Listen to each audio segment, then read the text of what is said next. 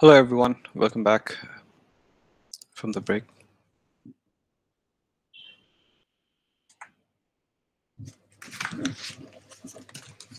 Okay, hope um, hope everyone's back. Um,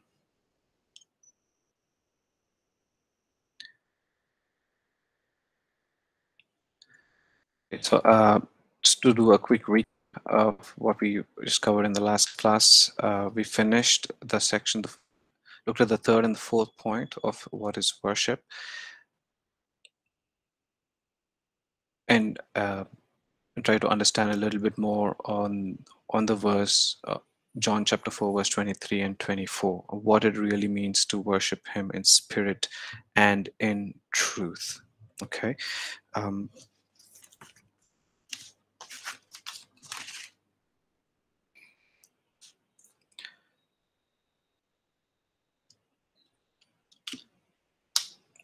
one second sorry uh,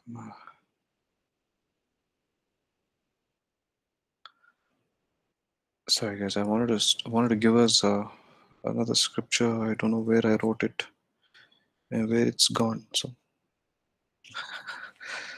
Oh great. Okay. Okay never mind. Sorry. Apologies. Uh, Okay, so uh, yeah, we, we saw that the, it is the Holy Spirit that ab- uh, who abides in us, empowers us to worship Him in spirit, and we also worship Him in truth, which simply means uh, worshiping Him according to the revealed Word of God. Okay. Um, so that was the last section uh, of the chapter. Uh, but uh, what I want to do right now is uh, just share briefly uh, on the topic of encounter um, because on in the, in the fourth point um, it's not in your notes by the way I, i'm going to share my screen.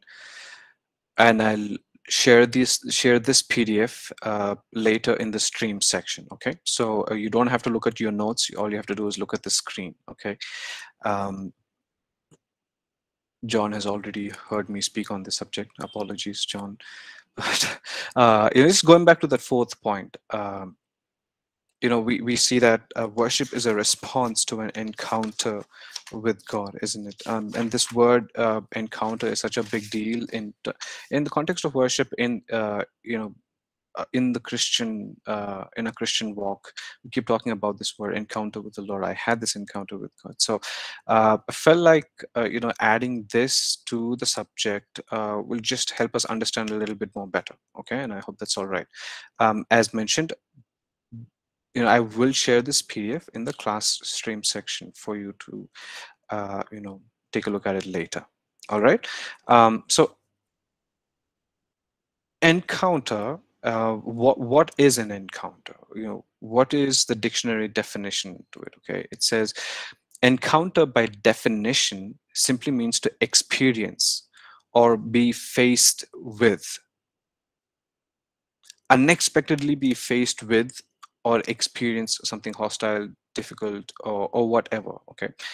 Um, so that's that's what an encounter is okay? Uh, and coming face to face with an unexpectation okay? There's an unexpected uh, you know encounter with the reality okay? Uh, more definitions uh, on encounter means um, some things up with my computer okay sorry. Encounter means to meet face to face unexpectedly. An encounter in, involves an element of surprise uh, of an element of suddenness it means to meet someone or to meet someone in a way that you have not expected it to be. Okay, it means to meet someone or meet someone in a way that you have not expected it to be. Um, the last definition says an encounter does not mean a second-hand report about a person or a situation.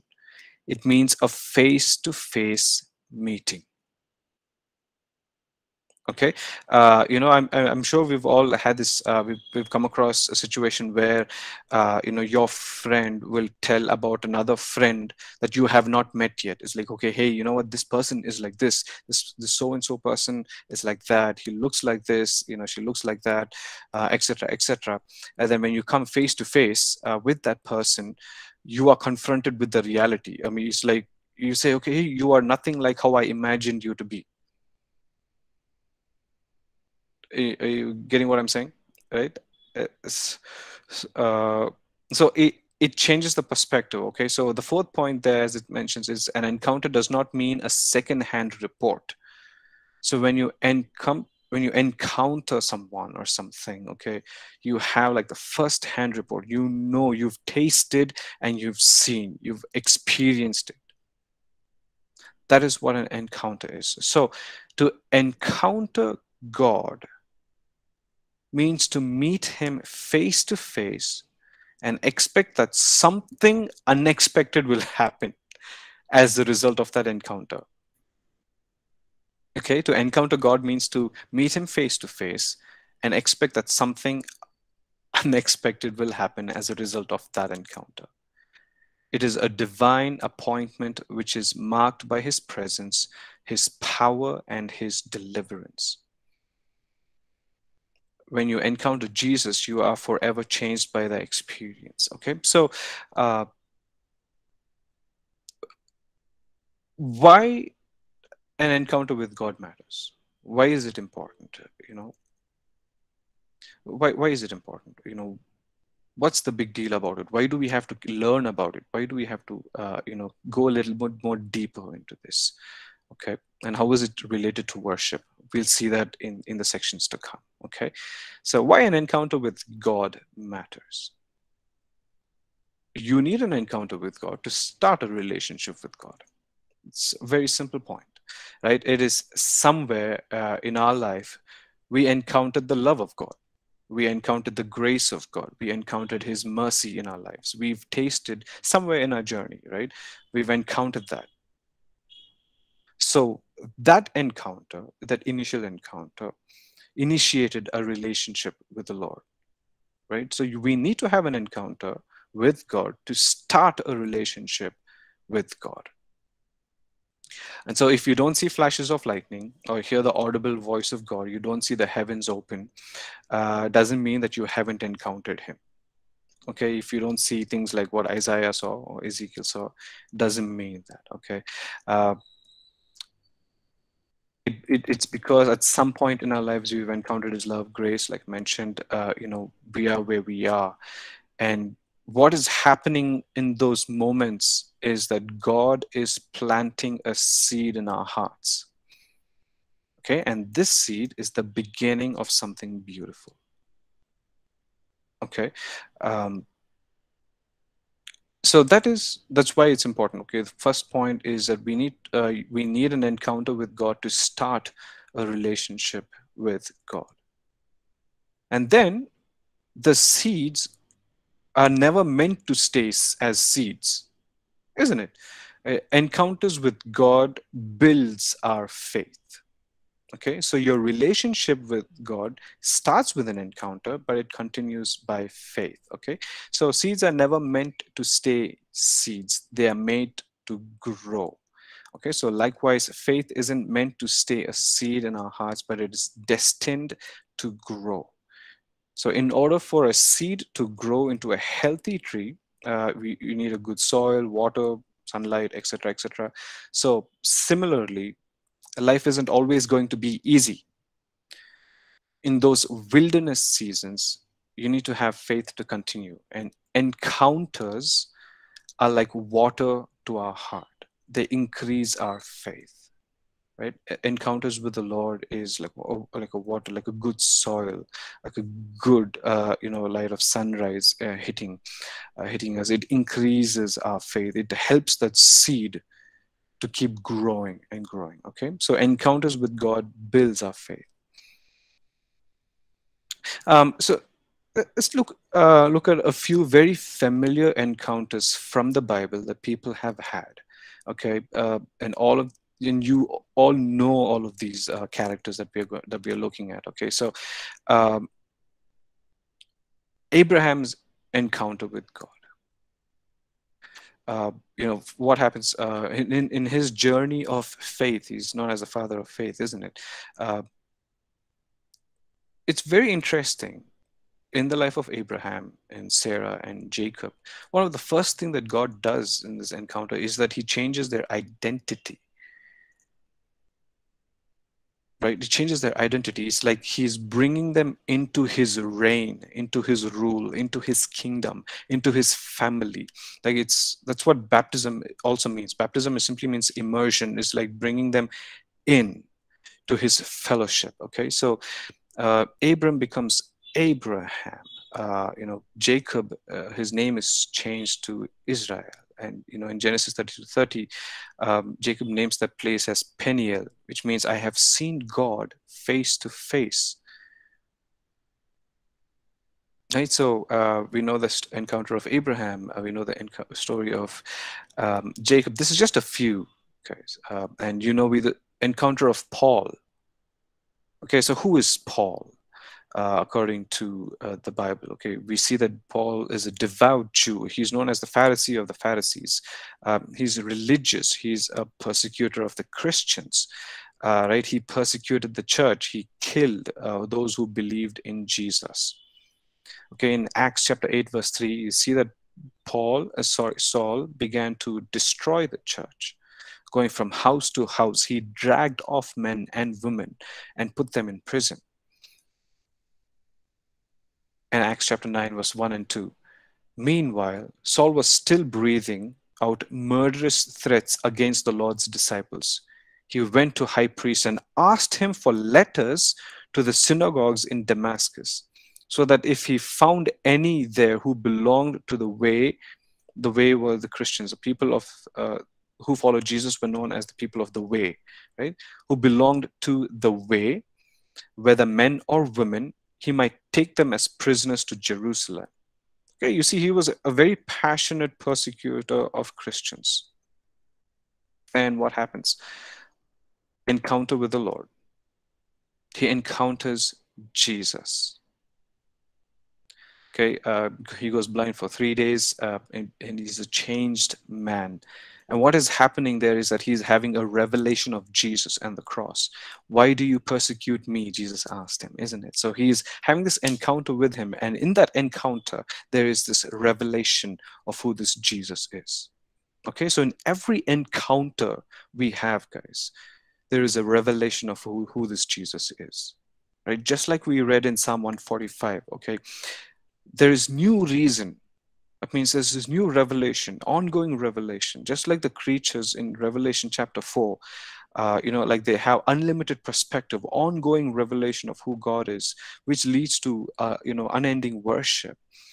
That is what is happening in every encounter, and that's what's that's what happened here in uh, Galatians chapter six, verse fourteen. We see that may I never boast except in the cross of our Lord Jesus Christ. Paul writes, through which the world has been crucified to me, and I to the world a guy who persecuted the church, um, who murdered Christians, who went to the officials asking for letters, official letters, so that he can, you know, take uh, Christians into prisoners. That one encounter with him, with Jesus, changes everything, his, his entire course of life. Right? That's just another character. But uh, one of my favorite uh, encounters in the Bible um, is mentioned in John chapter 20. Uh, can we all just go to John chapter 20, please? Is everybody doing all right? Yeah, with me? Okay. I hope you are. John chapter 20, everybody.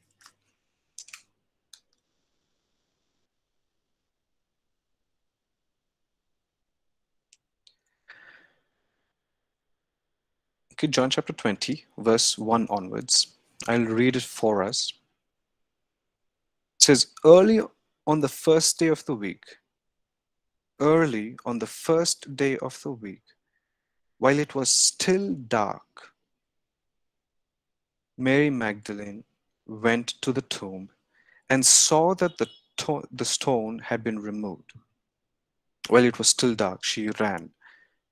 Verse 2 So she came running back to Simon Peter and the other disciple, the one Jesus loved, and said, They have taken the Lord out of the tomb, and we don't know where they have put him.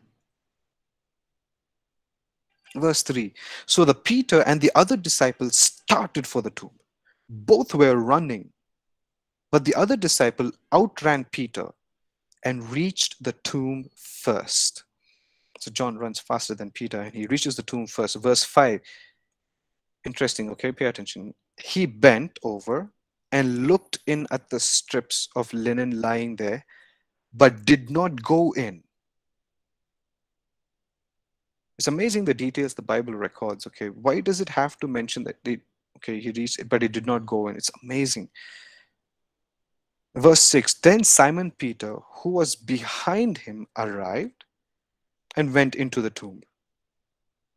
So Peter sees the strips of linen lying there, verse 7, as well as the burial cloth that had been around Jesus' head.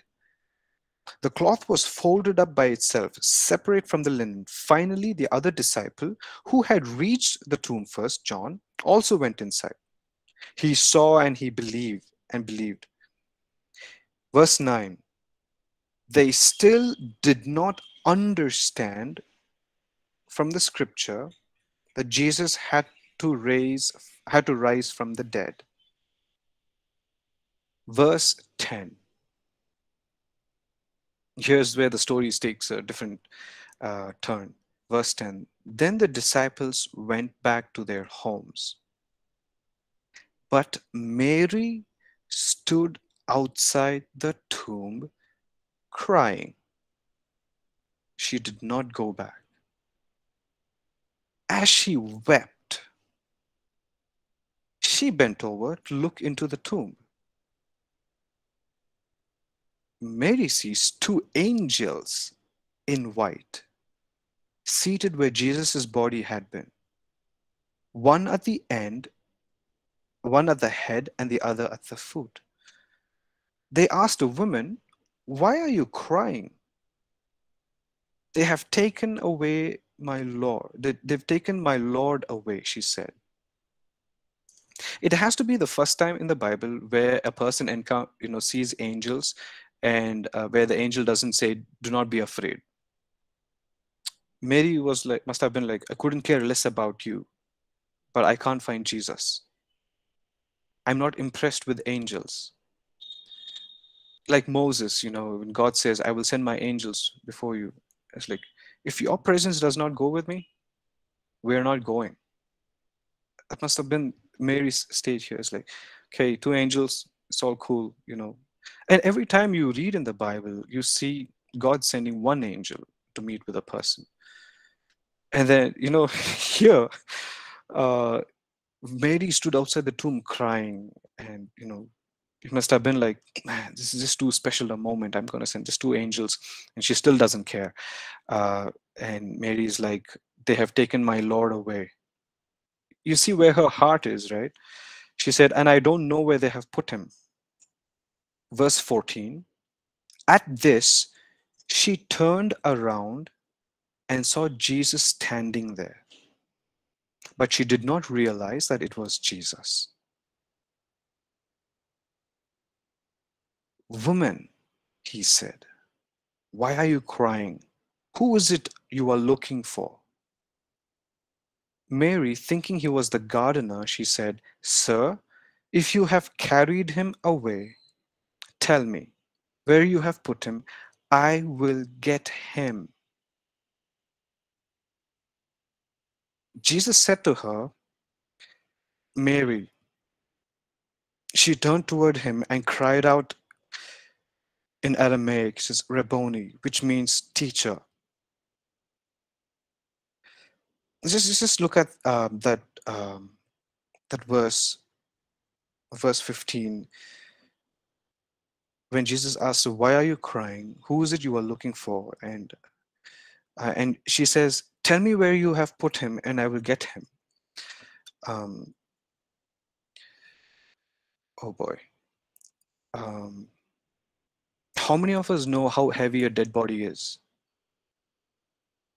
It's pretty heavy, and uh, it's it's not impossible, but it's very hard uh, for it to be carried by one single person. It's very heavy, right? But here, Jesus, Mary is saying, Mary was willing to love on a dead Jesus. She was not there like, I don't want, I don't want any more deliverance.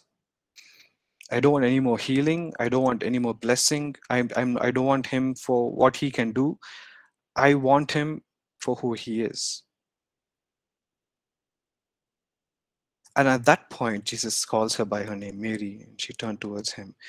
Um, verse 17 Jesus said, Do not hold on to me, Mary, for I have not yet returned to the Father.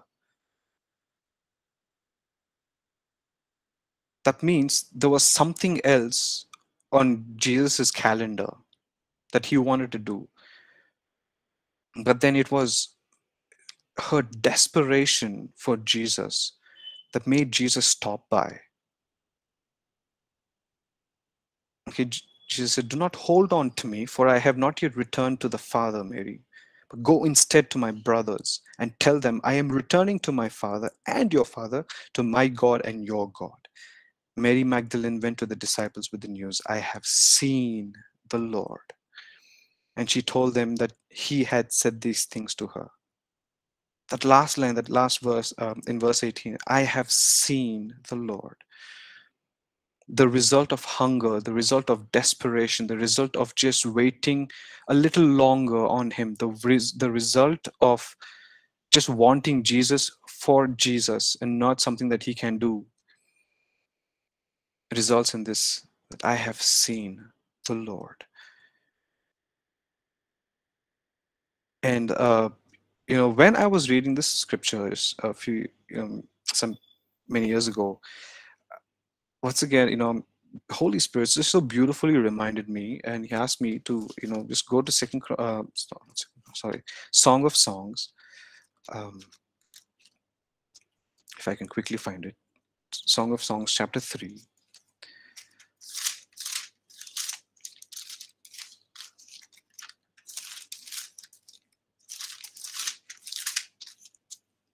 Okay, um, Song of Songs, chapter 3, this thing of John 20, John chapter 20 was uh, was just so beautifully kind of prophet prophesied so many thousands hundreds of years ago. Okay in songs of song, song of songs chapter 3 it says verse 1 onwards all night long on my bed i looked for the one my heart loves. I looked for him but did not find him. I will get up now and go about the city, through its streets and squares. I will search for the one my heart loves. Pay attention to this. So I looked for him, but did not find him. Verse 3 The watchmen found me as they made their rounds in the city. Have you seen the one my heart loves? Scarcely had I passed them when I found the one my heart loves. I held him and would not let him go.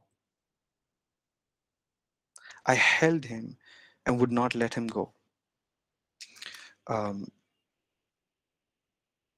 Song of Songs, some agree, some don't agree, uh, as a as a metaphor or as a, or as an analogy uh, between the church and Je- uh, a church as the bride of Christ and Jesus as the bridegroom but then the same imagery in a way it's happening here in john 20 20 isn't it? When when mary was just waiting on waiting for the one that her heart longed for.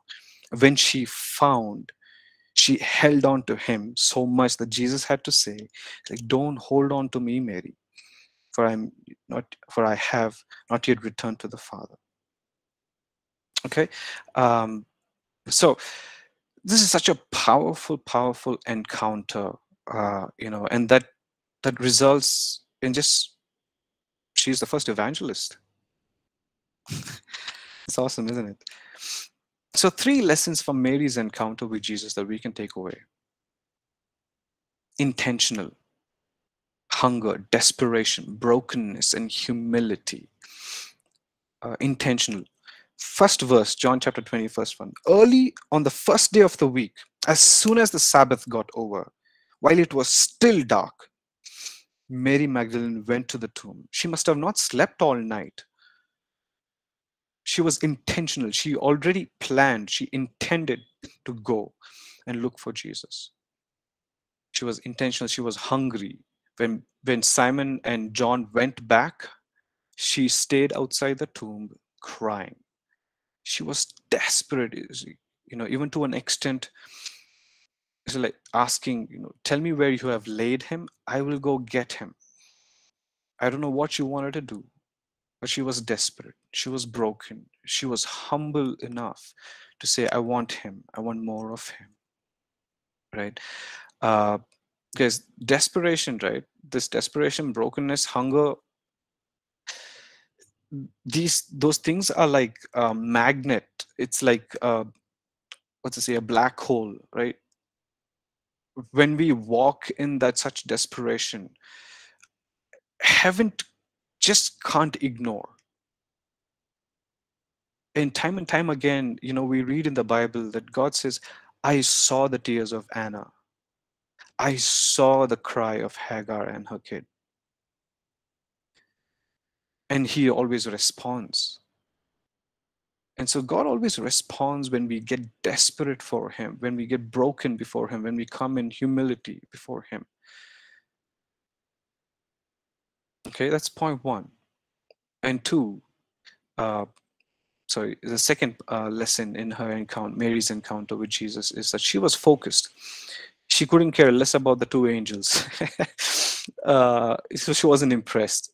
Yeah, angels, you know, if if it was me, I was like, angels, oh, you know, wow, you know, but she was focused. I want Jesus. I'm looking for the one my heart loves.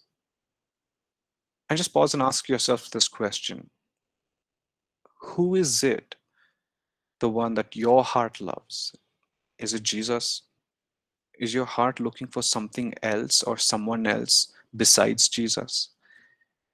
Is your heart focused or is your heart fixed? Is your eyes fixed on Jesus? And finally, um, the third point is persistence and patience. With intentionality and focus, it's relatively easy to have an encounter with God. He's already promised that when we draw near to Him, He will draw near to us.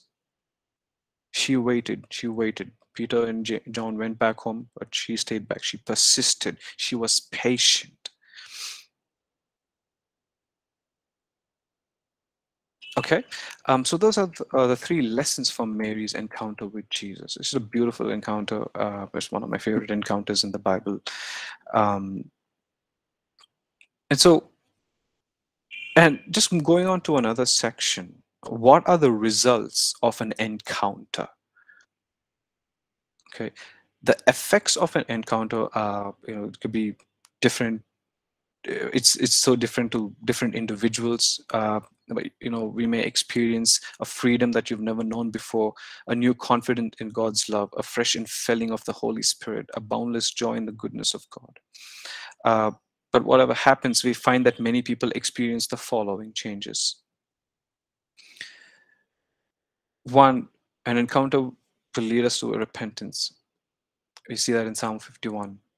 At the encounter, most people will come face to face with their own sinfulness.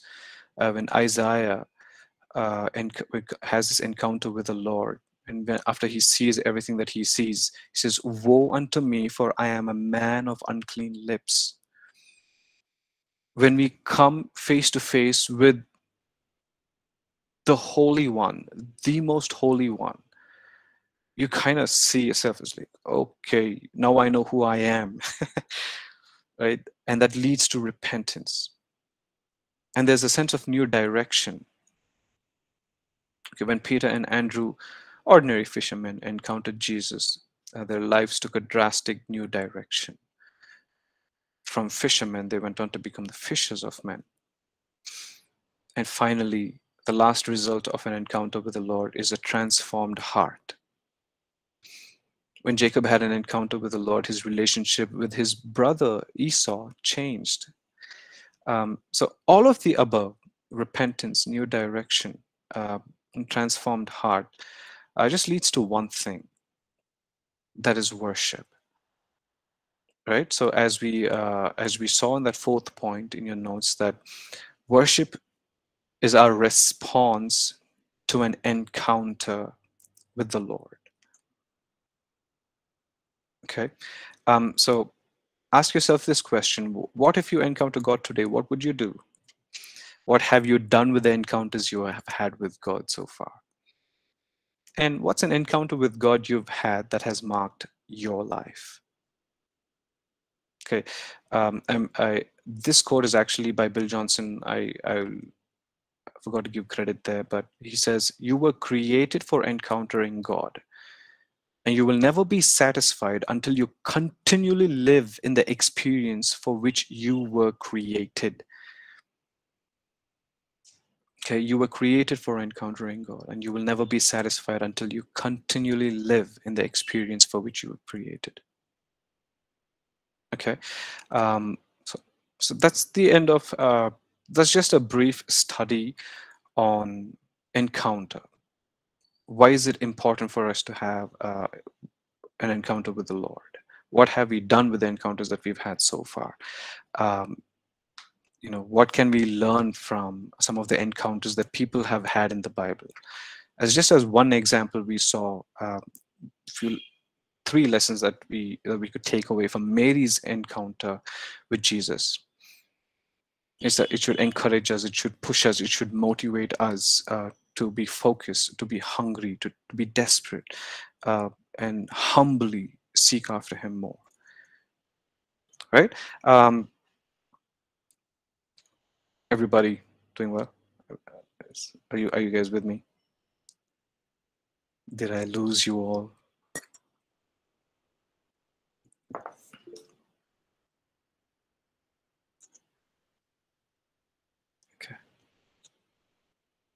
Okay. Um, so, I mean, after just looking at all of this, uh, do you think that an encounter with the Lord is important?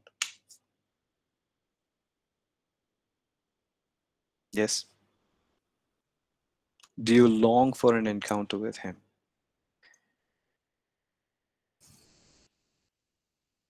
Okay.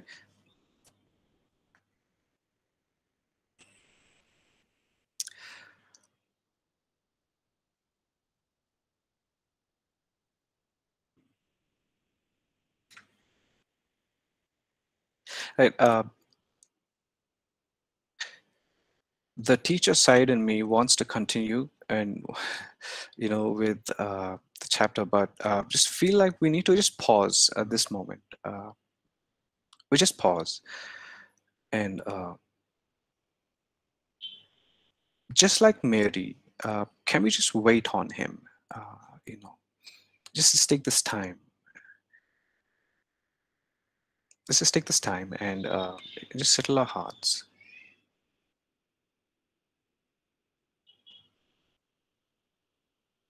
And just just lift your prayers up to him and say, My heart's been divided for too long. My heart has been fixed on too many other things but you, Lord.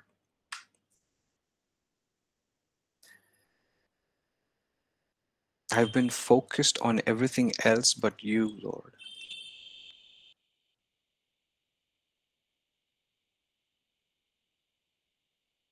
I've been focused on my worries uh, about tomorrow, my fears about tomorrow. I've been focused on my insecurities. I've been focused on my my pain, uh, what I'm going through. I've been focused on the storms all around me.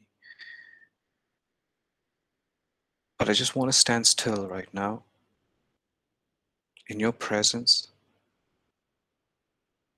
I want to recognize your presence. I want to acknowledge your presence.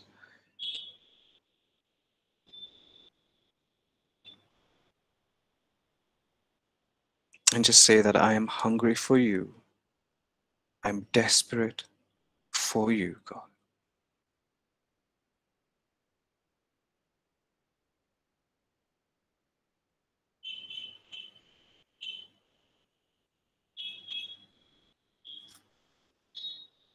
Can we just take uh, another 30 seconds or a minute um, and let the Holy Spirit minister to you?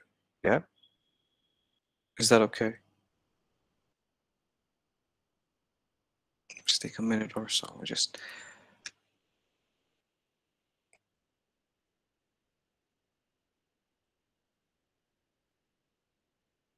let's take a break from all the theory that we've learned. You know, so many things, so many points, so many steps.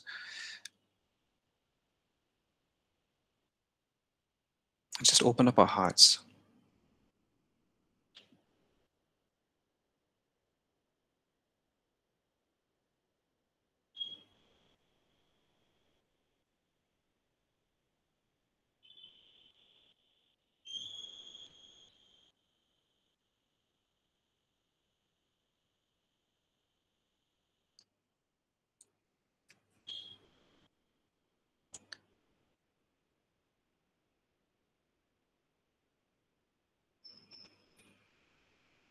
So, Father, we uh, I pray in your name. Lord, thank you for this privilege, uh, this incredible privilege that we have to come to your throne of grace just as we are and to call you Abba Father.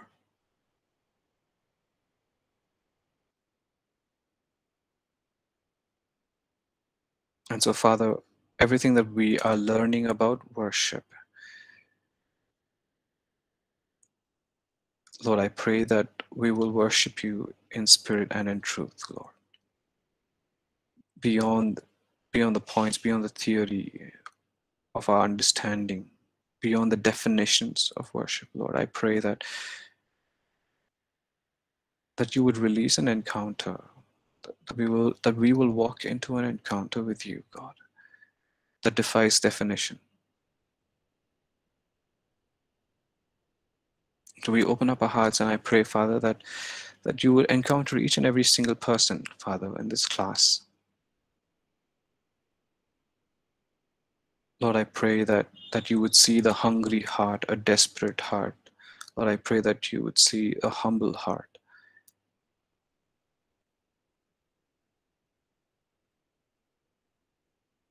I thank you, Lord. Amen. In Jesus' name, in Jesus' name, amen, amen. Amen.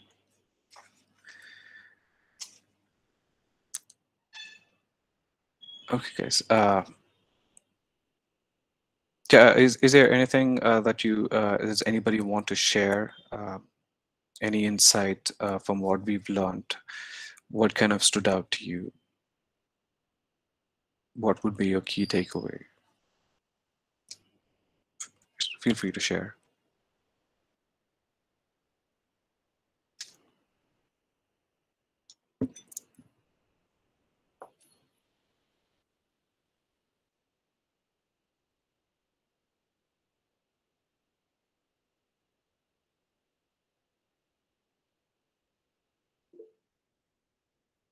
Yes, Divya, please go ahead. Yeah, thank you, Pastor. Uh, so, uh, this uh, encounter uh, with God, uh, all those encounters mentioned in the Bible has always been very fascinating uh, because um, I think each person has a you know unique revelation about God. Maybe it is, and one thing that is really common is um, the holiness aspect of God, and um, Yeah. Yeah and how even in the old testament like uh, god is revealing himself progressively like i am jehovah um, jireh i'm jehovah rapha so that progressive revelation through different encounters. Uh, so uh, yeah and um, one thing that one thing that uh, uh, i really uh, you know did not know uh, was even after becoming a Christian for a long time, Um, I mean, uh, I always tried to do things for God, but uh, uh, so it was a constant struggle for me. And uh, there was a time when God put this word inside me, like, be still and know that I am God. And it was a, a, a very um, precious it was very precious for me because yeah i was like those disciples maybe in the uh, storm right? Uh, they are just you know they're not looking and they're not realizing that god is there right right there with them. But he's just telling be still and know that i'm god. Have a revelation of who i am. So yeah the encounter with god really uh, helped me with the response you know to the right response yeah. rather than me trying or striving to do things. All right yeah yes yes i just want to share. Thank you. Thank you Divya. thanks for sharing. Um, anybody else you guys want to share? Um, any insight from what we covered today? We will conclude with that. Anybody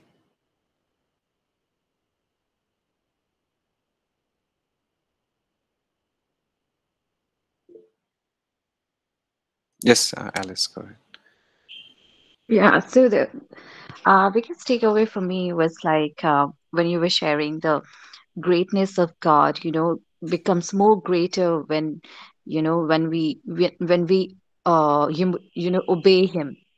So the obedience become the you know the factor to to see a more greater God or to see you know uh the greatness of God in more more deeper way. So yeah, so that was like oh, key takeaway. Awesome. Thank you, Alice. Thank you for sharing. Yes. Okay, and just one more person, guys. Uh, yeah.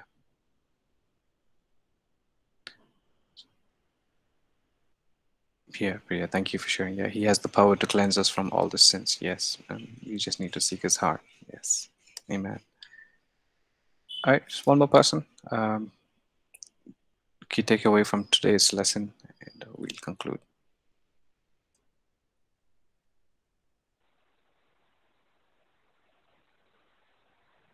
Can I share something? Sure, Isaac, please go ahead.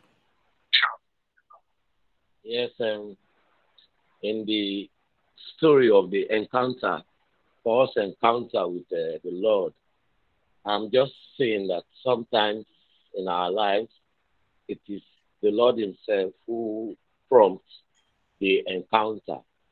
Because from what I saw or what we see from Paul's encounter with the Lord, his motive was different. In fact, he was going about uh, persecuting, killing, destroying Christians.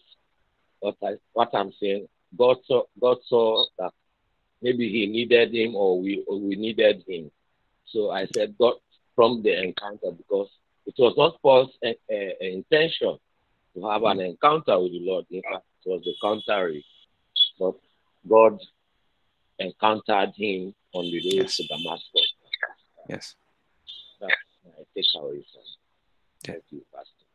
Thanks. Thank you, Isaac. Yes. Thank you. All right, guys. Uh, thank you all for sharing. Um, thank you for being part of class today. Um, I hope everybody could take away something from today's class. Um, I will share the encounter notes on the class stream section. Um, please feel free to download it. Okay. Um, I will stop the recording. Um, thank you all for joining. Take care. Have a good day. Bye bye. I'll see you all next week. Thank you, Pastor. Thank you, Pastor. God bless you. Thank you.